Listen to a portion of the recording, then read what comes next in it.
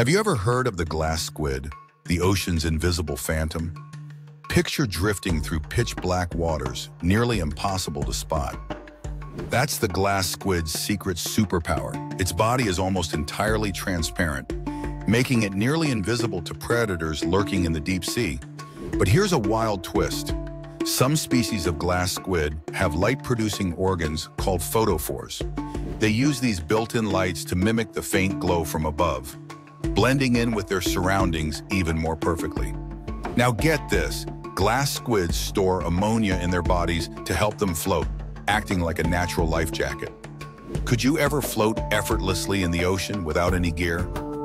Probably not. And their eyes? They're often mismatched, with one eye looking upward for faint sunlight and the other scanning the darkness below for danger. Nature's genius design, right? Imagine being nearly invisible and relying on glowing lights to hide. Would you survive? Drop your thoughts in the comments. Could you master the art of ocean camouflage? Don't forget to like, share, and subscribe for more amazing animal secrets.